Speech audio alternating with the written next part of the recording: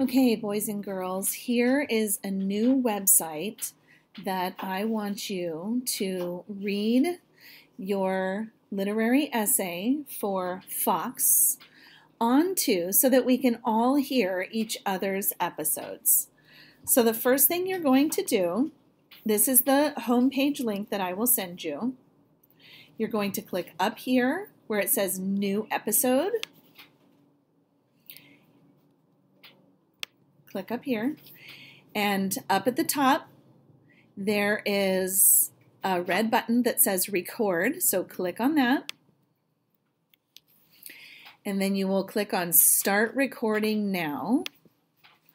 And when you're recording, you're talking and it's counting up and you're just reading your essay. When you've finished recording, you are going to hit stop recording.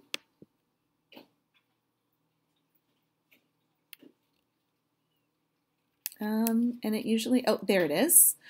Okay, so it shows up and it still says that it's processing. So give it a second. Um, okay, now it's done. Once it has the date, then it's all finished.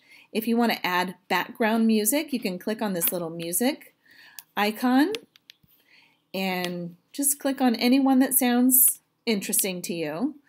Um, there's dramatic, cheerful, ominous, melancholy, whimsical, any of those.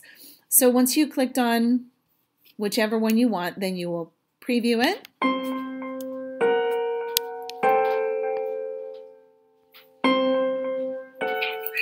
And when you're like recording, so I'm going to click on a different one and preview it.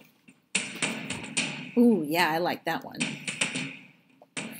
Okay, when you and find when one you're you recording, like it, hit apply, and it'll come up here, and it's still processing. And then you will uh, change the title. Okay, you're going to put your name. Not my name, your name. And you will drag it. Oops drag it right over here to this box. And we don't want to do that. Not right now.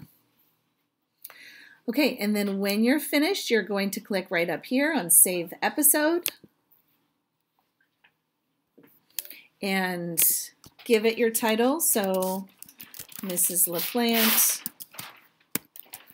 example. And what do you want your listeners to know? Listen to my literary essay of Fox. Scroll down and you want to make sure that it publishes right now. Don't worry about any of this stuff.